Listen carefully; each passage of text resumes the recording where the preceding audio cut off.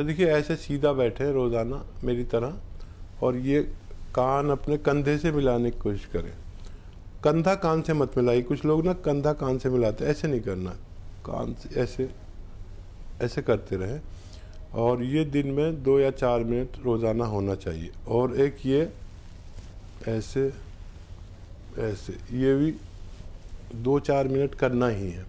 एक महीना कीजिए, दस दिन में रिज़ल्ट लीजिए और आप बगैर दवा के भी अच्छे हो सकते हैं। दवा ज़रूरी हो तो जैतून का नमक ऐसे दो चुटकी पानी मिला के रोज़ पी लिया करें। ये एक्सरसाइज भी आपके लिए ज़रूरी है। ऐसे ही हकीम साहब के तजर्बे का फ़ायदा उठाने के लिए हमारे चैनल हकीम सुलेमान खान को सब्सक्राइब करें और बेल बटन को दबाना ना भूलें, ताकि हकीम साहब के घरेलू नुस्खों से ज़्यादा से ज़्यादा आप फ़ायदा उठा सकें।